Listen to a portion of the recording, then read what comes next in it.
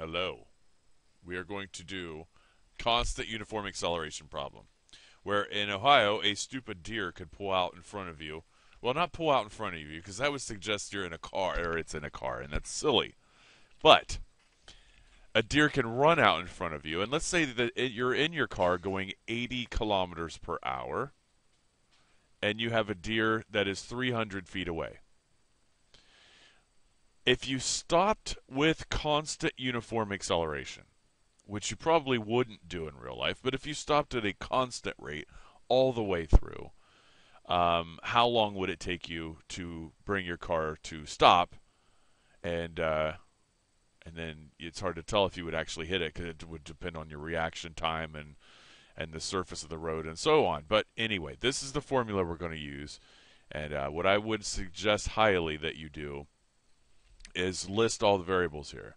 So this is going to be our delta x, our vi, vf, and delta t. Okay, now I'm just going to take and dissect this problem, filling in the stuff here. It says, how long would it take you to stop? That's time.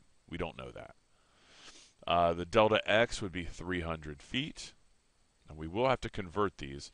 vi would be the initial speed, which is 80 kilometers per hour, and the final speed would be at rest at zero.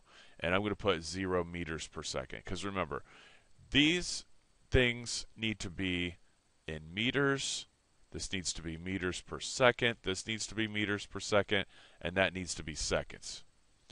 So we're going to do some conversions here. So first the 300 feet. And again, if you've uh, forgot your brain and need to know how to convert this, this would be over 1 feet meters. One meter is 3.28 feet. You would divide there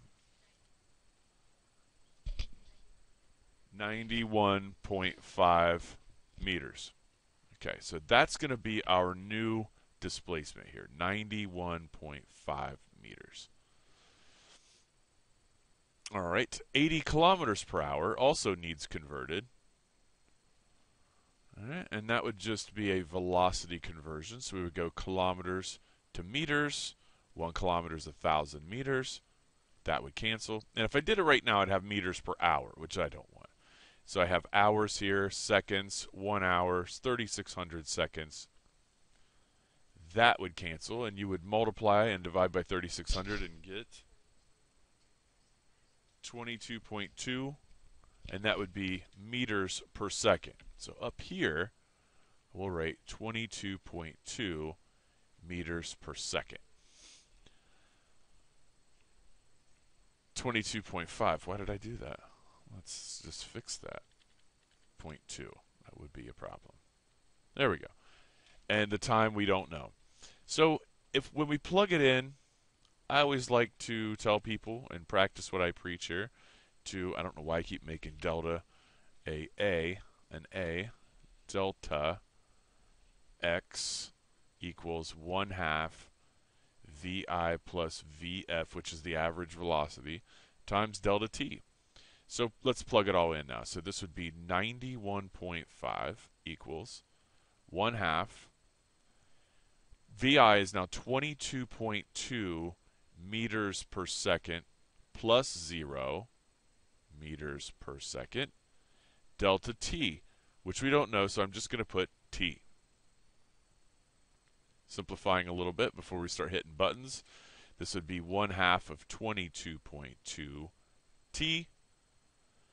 91.5 equals a half of, tw- these are all divisible by 2, right? So that's 1 11.1 t. And I just divide by this number and you would get t equals 8.2-ish. Is it 2.6? Just 2.4. Okay, so around 8.2 seconds. 8.2 seconds. Not very long to come to a stop and react and hit the pedal and uh, not wreck your car. So there you go. Constant uniform acceleration. Have a good one.